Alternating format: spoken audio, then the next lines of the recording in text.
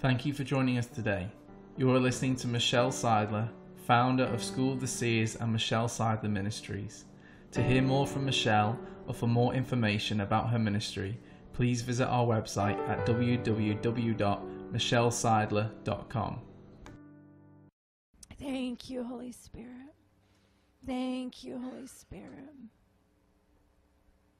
We thank you. We thank you for the good plans that you have this morning. Mm. We welcome you. Thank you.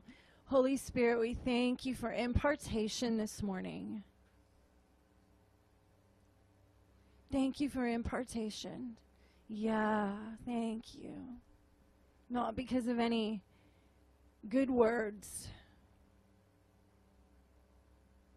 you, Holy Spirit, you search the mind and the heart of the Father.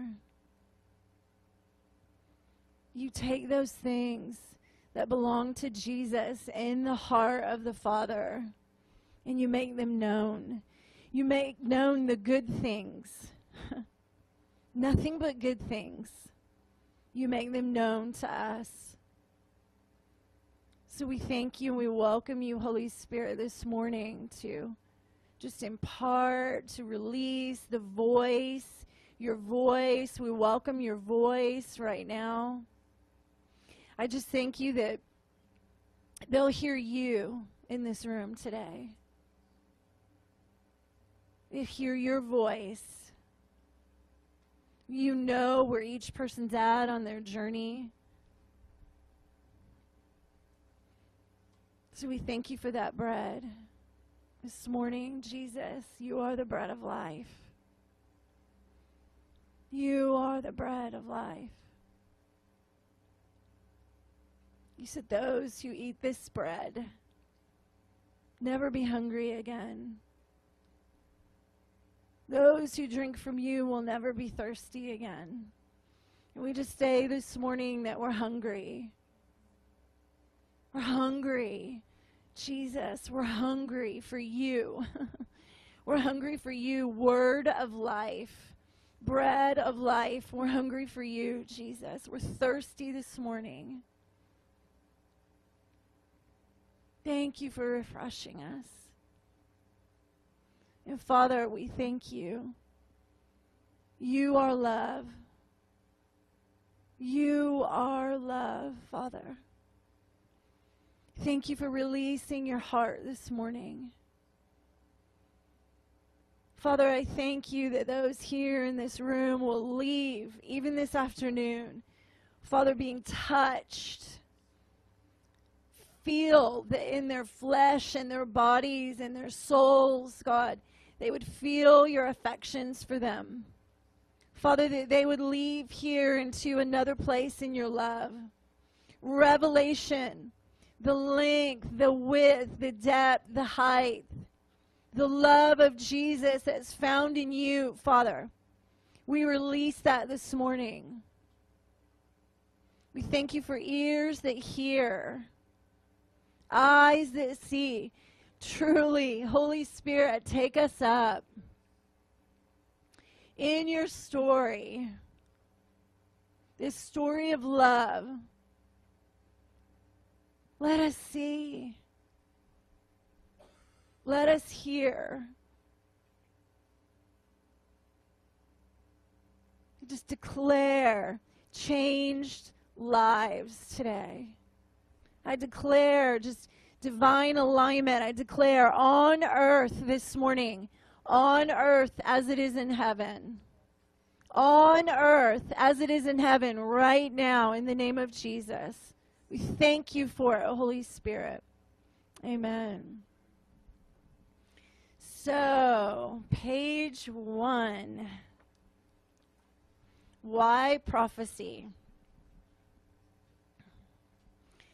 So, Revelation 19:10 says the spirit of prophecy is the testimony of Jesus.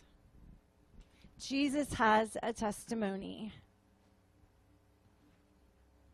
And it's about his father and his father's plan. Jesus has something to say. He has a testimony. He has a word. He has a declaration. He has a passion. and it's about his Father. And prophecy, the spirit of prophecy is what reveals this testimony. It reveals the Father, his nature, his ways, and his plan for creation, and to bring people into life. So John 17, the heart of Jesus. Father, the hour has come. Glorify your Son, that your Son may glorify you. As you have given him eternal, given him authority, you've given him eternal authority for sure, over all flesh, that he should give eternal life to as many as you have given him. And this is eternal life, that they may know you, the only true God, and Jesus Christ, whom you've sent. So I'm just, I want to go into the heart of Jesus in this and his passion and his desire, the reason that he came. I mean, there were many things that he did when he came, right? He took the keys, hell, sin, death, right? He made a way for freedom, but there's a passion in his heart that he had when he was here. The, the lamb slain before the foundation of the earth. He has a burning passion to reveal his Father. You read it all throughout the Gospels. If you've seen me, you've seen my Father. The works that I do, they declare my Father. His, this passion in his heart was about the Father. And we're invited into that. In John 17, I, you know, if we had John 17 and that was it, I, I could live there. I mean, that's the gospel, if you ask me. John 17. I mean, it's the best chapter in the whole Bible. It's his heart you know, of this union, of this, this passion, desire to be one together in unity, one with the Father. Father, that they would know your love, that they would know this love that you put in me, the way that you love me, that it would be in them. And why? I say this all the time, and I'll say it again. You are here. I'm here. You're here because of love. If you're if you're trying to figure out what your purpose is, what your destiny is, why am I here? I'm going to give you the answer right now. It's love. You're here because of love. You're here because of love. You're here because you have a creator, because you have a father who loves. God is love. He demonstrated his love by giving us his son. You have a father who loves. It's why you're here. You're here because of love.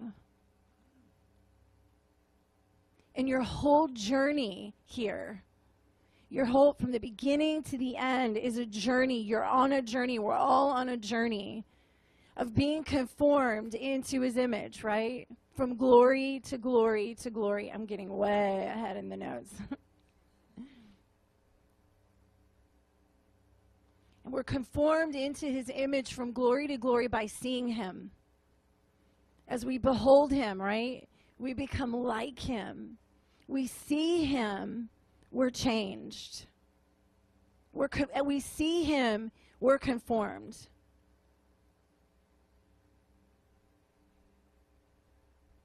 The heart of Jesus is to reveal the Father, but the heart of the Father is to give his Son a bride. She looks like him. That's really the story. When you line up with that and you get that, it sets course for your life. Got a witness. I asked this morning for that witness. There we go. So, burning on the heart of Jesus is that the Father would be known. Here's some scriptures for you.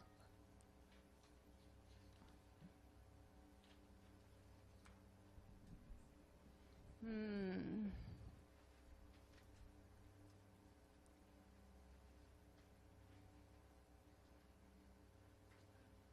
Thank you.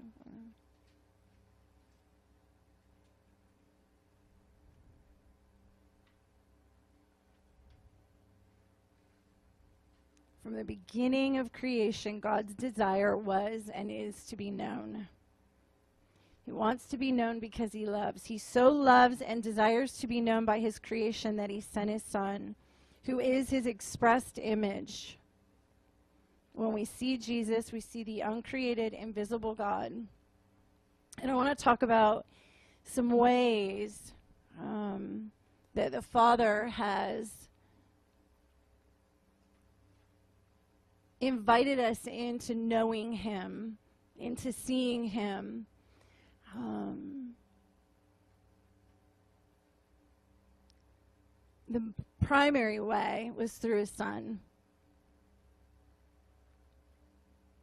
I mean, you get this, this creator, this father who loves and he's so longing to be known by you.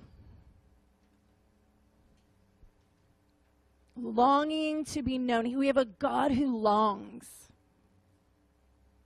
We have a God full of passion, full of desire, full of longing. He longs, he desires to be known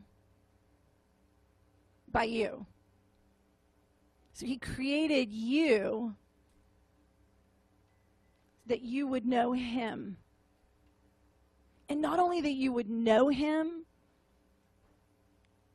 because the knowing him, what is it about him that he that he wants you to know? multiple things. but they all come from this root place in his heart that he loves.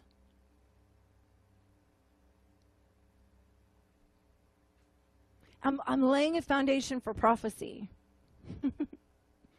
it's so important that you know this and you have this so that you're coming from that understanding of what is this about. That you know that his greatest passion, the Father's greatest desire is to be known. When you know that and you come to prophesy, you partner with his heart in declaring who he is, but from a place of understanding, from a place of revelation. Because without love, we're nothing, right? Apart from love, it's pointless.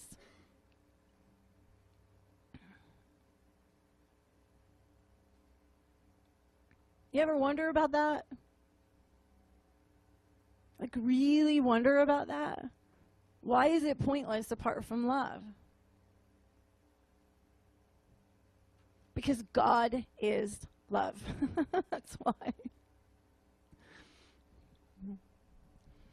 So, through his son, the very life of Jesus declares who the Father is. His very life. I'm not even just talking about the cross right now, I'm just talking about his life when we see him, when we see what he did, when we see how he acted, when we see what he said, we're seeing the very Father. So, therefore, the life of Jesus, the very life of Jesus is a prophecy. Because the spirit of prophecy is about revealing the Father. The spirit of prophecy the core root, the purpose of prophecy is to make God known. To make him known. Foundation of prophecy that God would be known. And again, not that he's just known, but that he loves. God is love. So, Jesus' life, I always say this too, like, I encourage you guys, Sermon on the Mount, don't read it like, this is the way I'm supposed to be. This is the way I'm supposed to act. These are my Christian duties. This is what I'm supposed to be like. This is what I'm supposed to do. I'm not saying don't do those things, but I encourage you read it from a perspective that this is who Jesus is. This is who the Father is. Because he's not asking us to do something that he's not.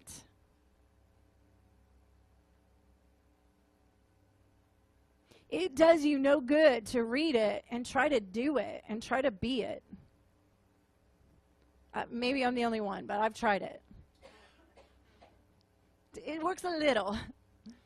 But when you read it and you go, oh, this is who you are, and you see him in it, it changes your, your inward chemistry. The whole word. I mean, what did Jesus say? He rebuked them. He said, You search the scriptures, for in them you think that you're going to find eternal life. But these very words speak of me. It's me. This is Him. he is the Word, He's the living Word. This is, this is to bring us into Him, who He is, which is revealing the Father. It's a love story. This is his heart here. This is him. So just throw that at you guys. Encourage you when you're reading it, look at him. This is who he is. Don't try to be something. Don't try to do something. Just look at him when you read it. See him. Ask him. Talk to him. This is who you are. This is how transformation happens. This is how we come into agreement. This is where life is. Life is found where? In Him. He is life. So when you read it, just just a shift in perspective, shift in the way you look at it, shift in the in the way that you approach it, the way you come to the word. Come to it like literally when you sit down and you open it and you read it, this is Jesus. Here you are. I mean, that sounds kind of blasphemy in a way. but it's true. Let's let's have a conversation. Who are you? Reveal yourself to me. And then, you know, let's see.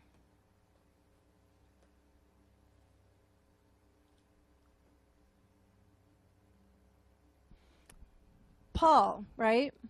I thank my God. Philippians, oh, I love Philippians. I actually do this with Philippians too. I read Philippians 2 and I see Jesus. This is who you are. This is his nature. This is who he is, that he's the humble one. He's the one who, who doesn't think a thing about himself that he considers others better than himself.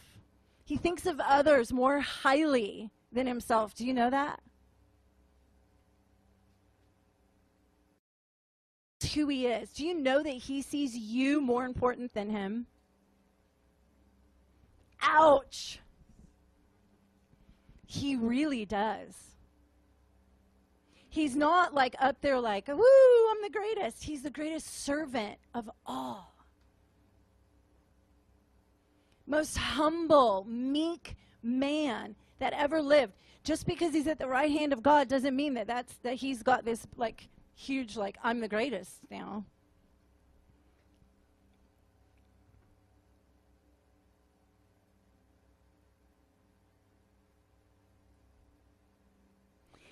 I'm going there. so I had this encounter one time. I'm in a car and Um,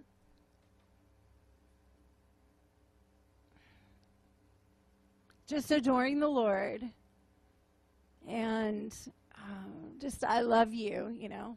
And he asks me a question. How many of you have heard this?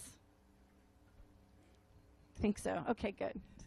So I don't feel like I'm just filling your ears and you've heard it 10 times. Um, uh, he asked me a question. He says, Michelle, what do you want? And I knew he was he was referring to. Um, I've, I've never been married, so I knew he was asking me about that. And I said, uh, it, it kind of just threw me off at first because it wasn't uh, in my mind. What do I want? And I said, um, you know, I'm on a I'm on a journey of love, like we all are. And I said, you know my journey of love. You know what it's going to take to conform me into the image of your son. You know how to bring me forth in love. So, whatever you want to give to me, that's what I want. Bring me into love, H- however you want to do that. Big picture, right? So, right when I said that, I'm in this place where I see Jesus in the garden. And he's weeping, and um, it, the very essence of the garden, the, the whole feeling, the whole smell was nothing but love. It was nothing but love in that place. And I'm seeing this man before his father so loved the father that I could I could feel his heart. Like I could see um, what was going on in him internally. And the the thing that got my attention more than anything else and I kept saying it I was like he did it his father's way he did it his father's way. Like this expression of love that Jesus was um, showing the Father. His expression of love was that he did it his Father's way. And it meant the garden and it meant the cross. And I was just like, wow, you did it your Father's way. You did it your Father's way. And then I'm watching him carry the cross and I'm watching him walk down this road and I'm thinking, wow. Then I'm thinking, wow, the wisdom of God. It's so opposite of the way that we would do things. That his father's way was for him to take a cross for a bride to express love and it's called wisdom. I, I, don't have words for it. So, so then I'm seeing him on the cross, and the whole time when he was in the garden and when he was walking, I was seeing a son before his father. And that was the reality that I was seeing. When I, when I saw him on the cross, it changed. And he was my bridegroom. He was Jesus, the our bridegroom, on the cross, and he's looking at me and he's saying, I did this for you. I did this for you. As a bridegroom, I did this for you. Bridegroom, husband, lays down his life that he would lift me up. It's heart for us. He's like, I want my glory to be shown on you. The same way that I shine my Father's glory, that my Father's glory rests on me, I want my glory to shine on you. And I was aware that He went so low to lift me up. And He, he did it so that that we would come into the fullness of all it. it. When we were in our mother's womb, all that the Father knit would come forth. So his heart and his his vision, his heartbeat, Jesus' heartbeat was that his bride would come forth in fullness. That's why he did what he did. At what a cost. So he's not he's not there now like I'm the greatest, look at me, serve me. He's looking at you. He's serving you. How do I how, you know come under and lift you up? Who are you? Who are you and how do I bring that forth? That's the way he's looking at you. And I and as this is going on, I'm thinking, wow, how would I ever fail? how could I ever fail? Because it wasn't just like in that I was like, wow, he's fighting for me. He fought for me. He made a way for me to come forth into the fullness of all that the Father created me to be but he's fighting for me as well now. I, I, I could not contain even a pinch of the love I was feeling in this. There, I, I'm, I'm, as it's going on, I'm crying and I'm going, I have to contain this. how do I contain this? Like, how do I stay here? How do I hold on to this reality? Um, this love that I couldn't, I couldn't hold on to it. And it was, it's so um, humbling.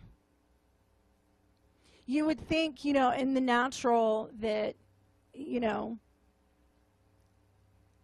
when he, because he kept saying it's all about you. It's all about you. It's all about you. You would think that you kind of get like, woo, it's all about me.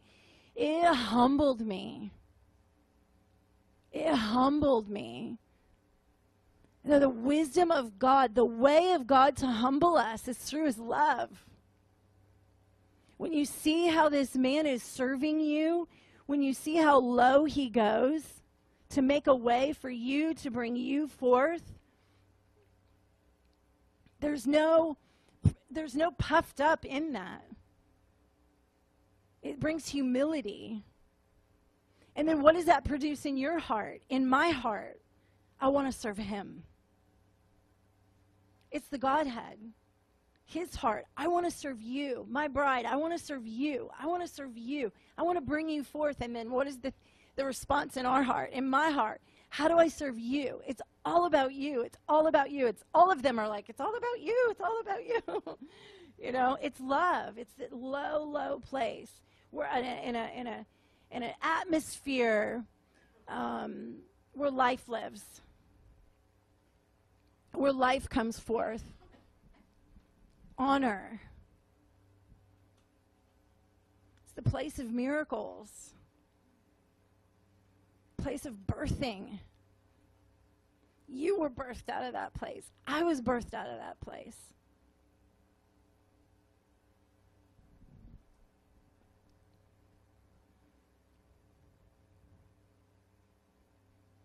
So I just thank you right now, Holy Spirit. Thank you right now. I just declare over each person here, each person in this room today, that you would bring us all into that reality. Holy Spirit. It's revelation right now of the one who the one who loves.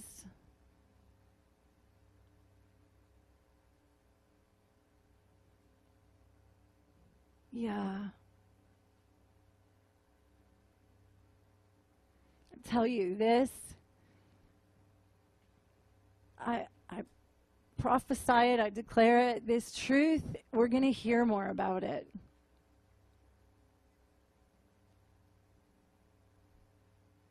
I believe it's part of the mystery of Christ in the church. This bridegroom.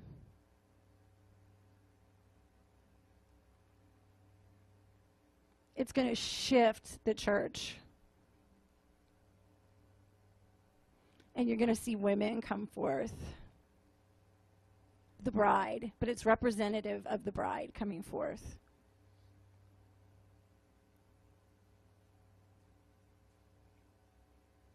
Glimpse of it. We're going to hear more about it. This revelation. Ask for it. Ask for it. He's fighting for you to come forth into fullness. I love this. Was listening the other day to um, Danny Silk. How many of you guys know? Um, he was talking about headship. How many of you guys have heard him talk about that? Talks about the head and what is the head? And he, he says that the head is actually, I can't preach his message, but that the head is actually the foundation that you build on. The head is actually the lowest point, not the highest point. It's really the apostolic being released. It's a place of serving, it's the place of humility, it's love. Okay, I'll move on. Or I won't get through the notes. Ask for that, though. Ask for it. So, through his son, the Father desires to be known. He makes himself known through his son. Through the written word, I talked about that. The word itself is a prophecy, it's a testimony. It declares who God is, what he's done, what he will do through creation. The Father's declaring who He is through creation. This is prophecy. All of creation is prophesying. Changing of seasons, prophesy Jesus. The birth of babies, marriages. Every time there's a marriage, it's declaring our wedding to the Lamb. All of creation.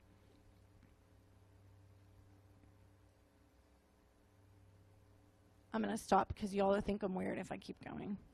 I'll scare some of you too early. I got to wait till tomorrow till you're a little more comfortable. you're still filling me out, so I'll be careful. Through our own testimony, do you know that your testimony is a prophecy? Do you know why? Do you know why your testimony is a prophecy? Because it declares who God is. What what he did in your life declares who he is. So many times we get stuck in the what in the what he did, and the what he did when the what declares the who. The what declares the who. That's why Jesus said, These works that I do, they declare my Father. His nature. He, he's a healer. He healed me from cancer. That's great. He did something. don't, I mean, I'm not saying, I'm not belittling that. But there's more to it than he did something. It's the who. He's a healer. That's the power in your testimony. Do you know that? That's where the life is. That's where the power resides in a testimony. Not in the this is what he did, but this is the who. So are you guys tracking me? We're talking about prophecy. It's about the who. Who is this God? That's the power in, the, in, in prophecy, in the testimony. Miracles, signs, wonders. The fact that you're saved, think about it. I now, if I told you all my story, you go, "Wow, he's a God that loves." And you guys have those testimonies too, I'm sure. But the fact that you have a testimony, the fact that you're that you have given your life to him is a testimony that you have a God who loves. Think about it. How many of you were steeped in deep, deep darkness when he came?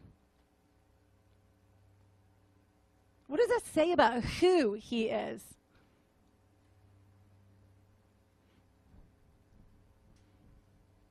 You ever think about that? Who